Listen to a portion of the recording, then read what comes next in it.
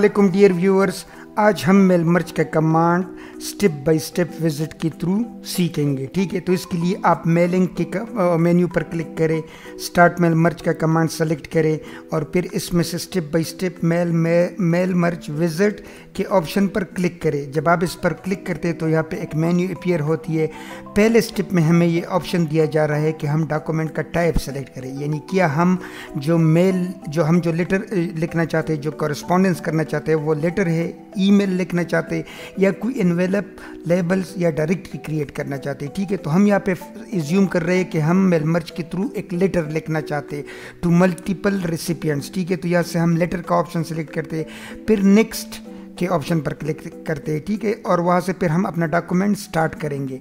ठीक है तो हम किया इसी डॉक्यूमेंट को, इसी डॉक्यूमेंट में मेल मर्ज क्रिएट करना चाहते या हम कोई टेम्पलेट ओपन करके उसमें मेल मर्ज का कमांड शुरू करना चाहते, हम इसी डॉक्यूमेंट में करना चाहते। इस वजह से मैं ये पहला वाला ऑप्शन सेलेक्ट करता हूँ और फिर मैं नेक्स्ट के ऑप्शन पर क्लिक करता हूँ कमांड पर, ठीक है?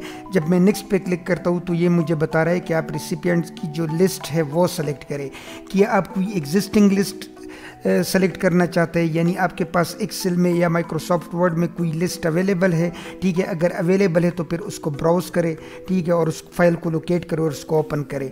अगर आप कहते हैं कि नहीं, मैं खुद मैं कोई एग्जिस्टिंग लिस्ट नहीं यूज़ करना चाहता, बल्कि मैं इसी में एक लिस्ट क्रिएट करना चाहता हूँ इसी डॉक्यूमेंट में तो फिर आप टाइप न्यू लिस्ट पर क्लिक करें और फिर क्रिएट के कमांड पर क्लिक करें। जब आप इस पर क्लिक करते तो ये एक डायलॉग बॉक्स ओपन हो जाता है। आप मेल मर्ज वन और मेल मर्ज टू की वीडियो देखे उसमें मैंने डिटेल से बताया है कि हम फिर इन कॉलम्स को, इन फील्ड्स को किस तरह कस्टमाइज करेंगे और किस तरह उसको फॉर्मेट करेंगे। ठीक है?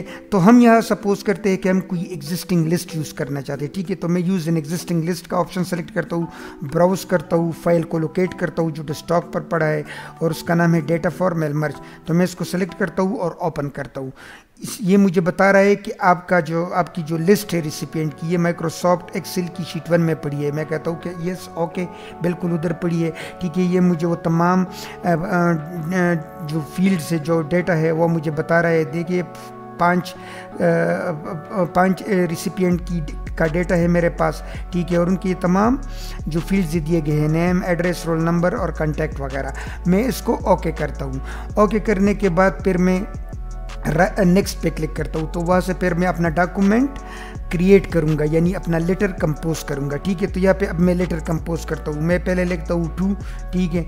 और यहाँ पे मैं फिर एड्रेस ब्लॉक इंसर्ट करूँगा, ठीक है? तो एड्रेस ब्लॉक इंसर्ट करने के लिए मैं यहाँ पे आके इस पर एड्रेस ब्लॉक पे क्लिक करता हूँ, ठीक है? ये मुझे बता रहा है कि आपने कौन सी फॉर्मेट में अपनी एड्रेस जो रिसिपियंट के एड्रेसेस है, उनको ऐड करना है, ठीक है? तो ये मुख्तलिफ़ फॉर्मेट्स है, ये देखिए, यहाँ पे प्रिव्यू दिखा रहा है तो आप अपनी पसंद का कोई भी फॉर्मेट इसमें से पिक कर ले, ठीक है? सपोज़ मैं ये वाला करता हूँ, मैं इसको ओके करता हूँ तो ये मेरा एड्रेस ब्लॉक हो गया। अब मैं इंटर प्रेस करता हूँ, ठीक है? तो यहाँ पे सपोज़ मैं लिखता हूँ, लेटर का सब्जेक्ट, ठीक है? तो call for interview, for example ठीक है, अब मैं इंटर प्रेस करूँगा, और यहाँ पे सपोज़ मैं ग्रीटिंग कोई कोई लाइन देना चाहता हूँ, यानी डियर सर या मैडम तो मैं फिर यहाँ पे आके ग्रीटिंग लाइन के, ऑप्शन पर क्लिक करता हूँ ठीक है ये मुझे मुख्तलिफ़ फॉर्मेट बता रहा है यहाँ पे यदि कि प्रिव्यू मुझे दिखा रहा है कि डियर सर और मैडम ठीक है यहाँ से मैं सपोज़ कोई और चूज़ करता हूँ टू होम एट कंसर्न या नन करना चाहता हूँ यानी कोई ग्रीटिंग लाइन नहीं है ठीक है तो मैं डियर सर या मैडम वाला ऑप्शन सेलेक्ट करता हूँ और इसको ओके करता हूँ। अब मैं इंटर प्रेस करता हूँ। अब यहाँ पे मैं अपने लेटर की मेन बॉडी कंपोज करूँगा, ठीक है? तो मैं सपोज़ करता हूँ कि मेरा जो लेटर है, ये चार पैराग्राफ्स पर मुश्तमिल है, ठीक है? तो मैं यहाँ पे हाइपोथेटिकल फॉर पैराग्राफ्स इंसर्ट कर रहा हूँ। फिर मैं इन पैराग्राफ्स को सेलेक्ट करता हूँ, ठीक है? और सेलेक्ट करने के बाद इस पर कुछ फॉर्मेट अप्लाई करता हूँ। कंट्रोल जे से मैं इस टेक्स्ट को जस्टिफाई करता हूँ और कंट्रोल फाइव से मैं लाइन स्पेसिंग 1.5 रखता हूँ। और मैं इसकी फ़र्स्ट लाइन एंडेंट भी सेट करता हूँ। सपोज़ मैं यहाँ पे indent first line end end set करता हूँ। ये हो गया, अब मैं स्क्रॉल डाउन करूँगा और यहाँ पे इन पे मैं क्लिक करूँगा ताकि कर ज़रा जाए, एक बार एंटर प्रेस करूँगा। अब यहाँ पे मैं अपनी ऑर्गेनाइजेशन का एड्रेस दूँगा। तो सपोज़ सेक्शन ऑफिसर ने ये लेटर लिखा है और डिपार्टमेंट जो है ये गवर्नमेंट ऑफ़ खैबर पख्तूनख्वा या जो भी है आप वो, फिर वो वहाँ पे लेके। मैं इन दोनों लाइंस को सेलेक्ट करता हूँ और कंट्रोल आर से इसको राइट अलाइन करता हूँ। ठीक है, अब ये हो गया और मैं मेल मर्ज के इस विज़ट को यहाँ से क्लोज़ करता हूँ। थोड़ा सा इसकी जूमिंग कम करता हूँ ताकि ये साफ़ नज़र आए। ठीक है, ये मेरा, ये मेरी जो मेल मर्ज का जो मेन फॉर्मेट है, ये सेट हो गया। अब मैं फिनिश्ड इन मर्ज के कमांड पर जब क्लिक करता हूँ और फिर एडिट इंडिविजुअल डॉक्यूमेंट को सिलेक्ट करता हूँ और यहाँ से आल का ऑप्शन सेलेक्ट करके ओके करता हूँ तो ये तमाम लेटर्स मर्ज हो गए। और ये उसी फॉर्मेट में ये तमाम रिसिपियंट को ये लेटर इंडिविजुअली एड्रेस हो रहा है, जो मेरी लिस्ट में शामिल थे। और उसी फॉर्मेट में जो फॉर्मेट मैंने सेलेक्ट किया था। ठीक है, ये देखिए, ये ताहिर को एड्रेस है।